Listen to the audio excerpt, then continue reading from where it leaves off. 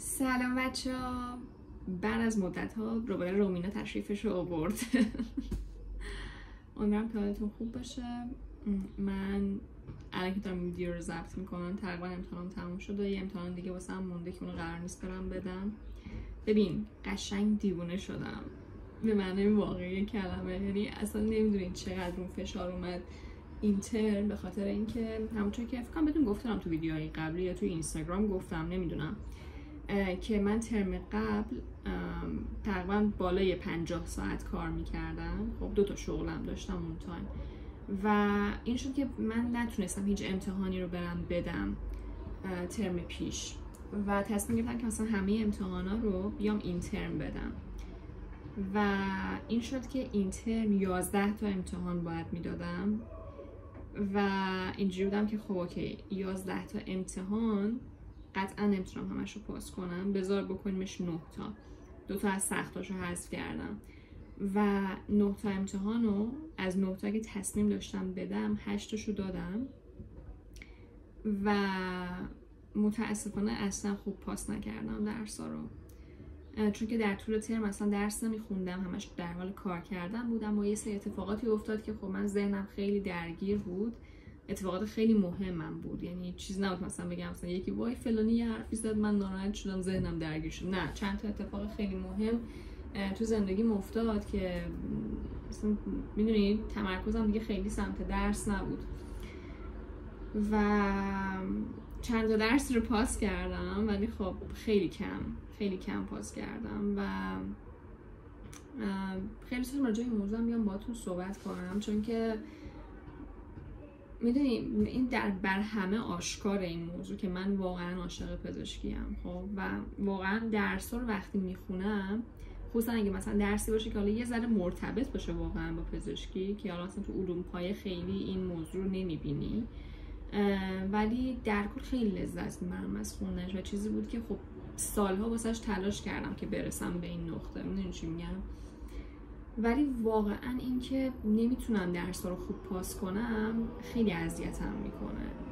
یعنی شده بود مثلا در طول امتحان ها واقعا من اینجوری بودم که دیگه می‌خوام از پزشکی انصراف بدم. اینقدر فشار اومد روم این ترم یعنی واقعا حس کردم که مثلا درسته من علاقه دارم به پزشکی ولی من به درد پزشکی نمی‌خورم. خصوصا که خب نمی‌دونم یا حداقل پزشکی به درد کسی نمی‌خوره که داره همزمان کار می‌کنه. می‌دونی چی میگم؟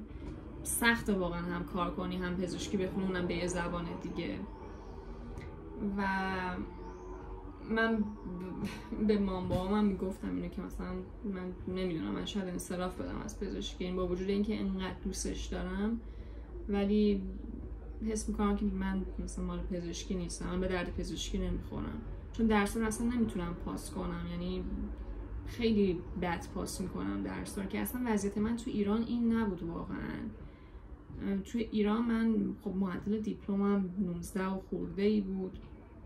المپیاد شرکت می‌کردم. همیشه شاگرد اول کلاس بودم. و معدلم تو دانشگاه بالای 19 بود. حالا اون time که اون آزمایشگاهی میخوندم. و الان اصلا هم درد مثلا خیلی فجیه می‌دونی؟ که واسم سخت این موضوع که مثلا یه پزشکی خودش خب طولانیه در کل و من بخوام مثلا یه پزشکی 6 ساله رو ده ساله تمامش بکنم این واسم خیلی زیاده و خیلی به این موضوع فکر می‌کنم که آیا من می‌خوام این کار رو انجام بدم یا نه. می‌دونی چی میگم؟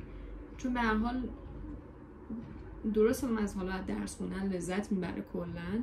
حالا اگه واقعا درس خوندن رو دوست داشته باشی. ولی خب من الان داره 26 سالم میشه خب. و اگه بخوام با همین روند پیش برم قطعا بیشتر از 7 8 سال طول می‌کشه که من پزشکی رو تمام بکنم. این بگو دوربر مثلا 35 سالم میشه اون موقع. و هر که بخونم فکر می‌کنم آیا من واقعا می‌خوام تا 35 سالگیم در حال درس خوندن باشم؟ و مثلا حالا کارهای part time بکنم. چون full time که نمیشه خب کار کرد با درس خوندن و part time کار کنی. و وقتی part time کار می‌کنی درآمدت اونقدری نیست که بخوای یه زندگی راحت داشته باشی. می‌دونی چی میگم؟ خب مثلا من خیلی دوست دارم برم تو خونه خودم زندگی بکنم. خب مثلا با کسی share نکنم خونم و یا مثلا یه عالم مسافرت دوست دارم برم ولی کار part time این اجازه رو به تو نمیده که تو بتونی اول اجاره یه خونه رو بدی.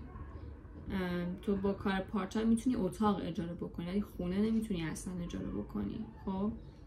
و یه زندگی خیلی معمولی داری خب؟ که واقعا باید از خیلی از تفریحات زد که بتونی مثلا حالا هزینهات رو manage بکنی.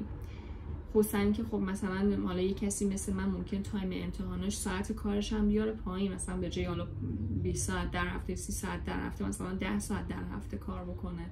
یا 15 ساعت خب به همون حساب درآمدت هم میاد پایین تر و بعد مثلا فکر اوناش هم بکنی. و این موضوع یکم خیلی ذهنم رو درگیر کرده. یعنی از طرف خودم هم می‌دونم که من اگر از پزشکی انصراف دادم قطعا به خودم فوش میدم. و میگم که تو خیلی آدم مثلا پلشتی بودی که انصراف دادی.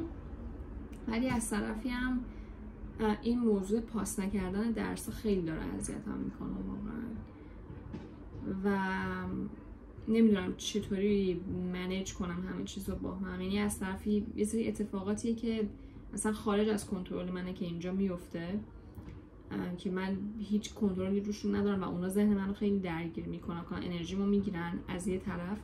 و از طرف دیگه بحث کار هستش که خب سخت کار کردن همزمان و درس خوندن خب؟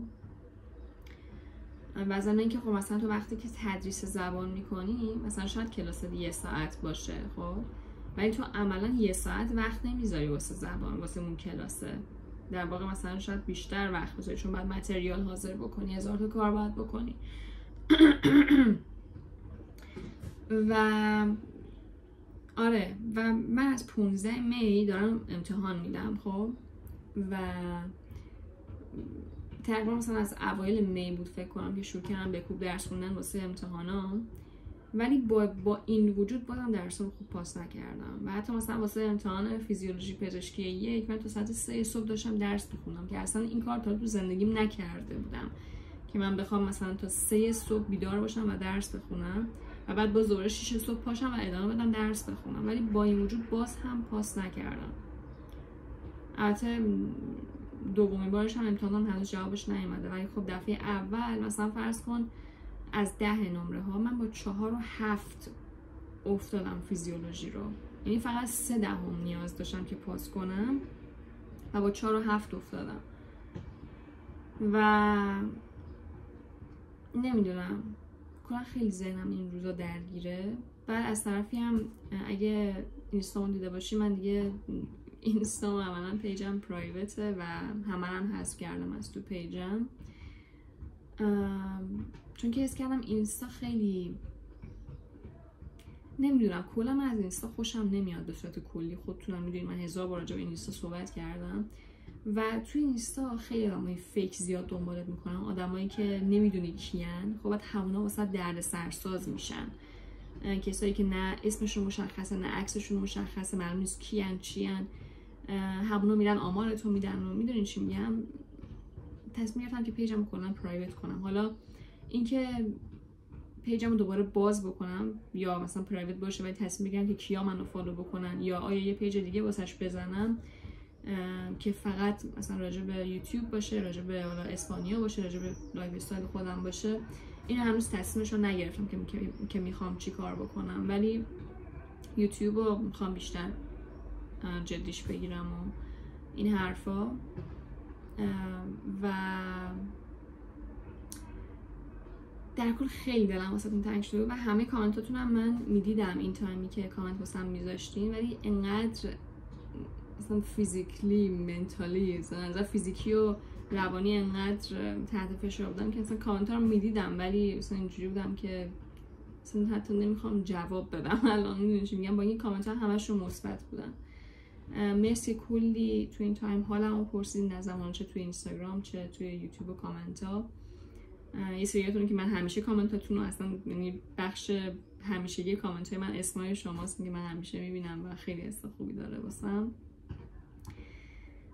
و اینکه برنامه channel از این به بعد اینجوریه که احتمالا سعی کنم هفته یکی دو تا شد هم بیشتر ویدیو بذارم و قرار اسم channel رو عوض بکنم.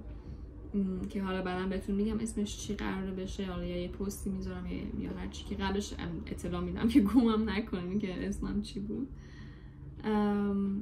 و اینکه احتمالا بیشتر daily routine باشه ویدیوها و در حین اون دیلی روتین ها یه سری چیزا هم راجع به اسپانیا بهتون بگم که شاید واسهتون جالب باشه.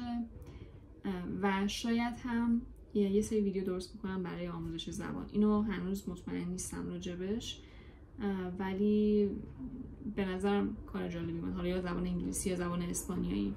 چون جفتشو تدریس می‌کنم گفتم جالب میشه که بخوام ویدیو هم بذارم تو یوتیوب راجع به این مسئله. خلاصه که کلی دوستتون دارم. منتظر کلی ویدیوهای بیشتر از من باشین و کلی مواظب خودتون باشین. خیلی دوستتون دارم. و حتما update بدین از خودتون بهم تو کامنت ها بهم بگین چی کارا کردین. شما امتحاناتون تموم شد. اصلا امتحان دارین یا ندارین. چی کار می‌کنین کلا؟ یعنی به ما update بدین. مواظب خودتون باشین. تا ویدیو بعدی. خدافظ